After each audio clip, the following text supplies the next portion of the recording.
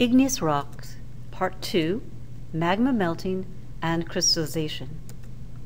Melting. What is melting? We start with a solid, which has a crystalline structure by definition, and if you add heat, the molecules within the crystalline structure start moving so quickly that they break away and they become a liquid. So, how do you melt something? Well, the easiest way to melt something is to simply increase the heat. However, there are other ways to melt. After all, pressure holds a crystal together. If you decompress it, the crystal is capable of melting, if in fact it's warm enough to do so. There's a third way. Simply add water. Adding water decreases the temperature at which a crystal will melt. Let's look at a typical temperature pressure curve. Here we have a graph in which the temperature increases to the right and the pressure increases as you go down into the earth. In this case, rock A is solid. It's near the surface and it's cold, where rock B is liquid, also near the surface but hot enough to melt. Whereas rocks C and D are deeper in the ground under greater pressure, so rock C is solid and D is in the process of melting. So rock A, now solid, only needs to be heated to turn into a liquid. It can stay at the surface, but if it hits high enough temperature, it's melted. However, if rock A is going down a subduction zone, it is getting heated, however, at the same time, it's increasing its pressure. So down here at C, it's still going to be a solid. On the other hand, rock C here only needs to be brought up to the surface in order to melt as rock B is melted. It didn't need any increase in temperature, just a decrease in pressure, decompression melting. Remember, however, that water plays a part in melting. So rock E here could be melted only if there's water present, and it would be to the right of the melting point and be a liquid, or if there is no water present, it is still going to be solid. You know that melting occurs at the mid-ocean ridge. Well, why? We know that the two plates move apart. That's decompression. The asthenosphere, which is solid or almost solid, comes up to fill the gap. But as it loses pressure, it is then able to melt and fill in these cracks within the splitting ocean plates. So mid-ocean ridges are a classic example of decompression melting. So why does melting occur at an ocean-to-ocean -ocean convergent boundary or subduction zone?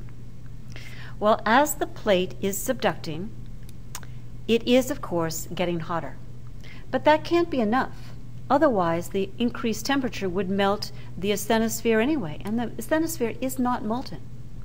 It does start to melt, however, as these rocks get far enough down, they're carrying with them water, both within the rock and as part of the minerals. At a particular temperature, the water ends up becoming released. That released water melts the mantle and results in magma being formed, coming up and making a nice volcanic arc. So once again, this is an example of the addition of water changing the melting point of the rock. Why does melting occur along an ocean continental convergent boundary? Well, of course, same thing. You add water, water melts the mantle. Also, the mafic magma that comes out of the mantle is going to get underneath that crust and melt it. The result will be felsic and intermediate rocks. How about at a continent collision? Do you have much melting? Not much. I mean, you used to have melting during the subduction before the collision, but that's all done and over with. Whatever melting you might have because of burial will probably just turn into felsic rocks like granite, cool underground, and never make it to the surface. So that's why you don't tend to have any volcanoes associated with a continent to continent convergence.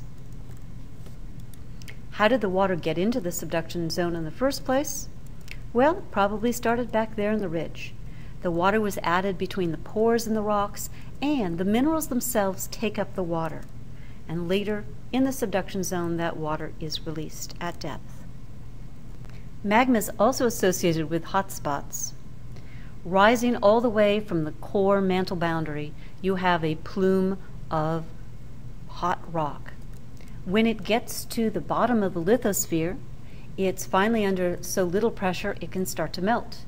And the result is magma coming up and forming ocean islands like the ones in Hawaii. But that's underneath a, uh, an ocean plate. If it happens underneath a continental plate, then you have a different kind of melting going on. Sure, you can have the very basaltic magma coming up to the surface and making gigantic basalt flows. But also, that hot magma can heat and melt the continental crust. And when continental crust melts, it's very, very explosive, and you can have a caldera and, yes, indeed, a mega volcano. We've been talking about magma as if it was a single substance like water with a single melting point. But in fact, magma is much more complex than water. It might be totally melted at 1200 degrees Celsius, which would be its liquidus. However, as it cools down, it doesn't suddenly turn into rock, but some crystals form at one temperature, others continue to form at another temperature, until finally, at around a thousand degrees, all the crystals has, have formed and it is totally solid.